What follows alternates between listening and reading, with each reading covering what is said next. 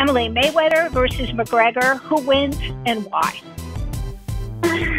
You know, there's so many different options. There's so many different ways it could play out. Um, I think if McGregor wins, it will be something crazy because he's wild. So, um, you know, if he wins, I think he'll be crazy. But I think if the fight drags on, you know, um, you know, Floyd might take it. Um, but, um, you know, like I said, there's just so many options. But, you know, McGregor's crazy and he's done a lot of things. So I would not put it past him at all to, to do it.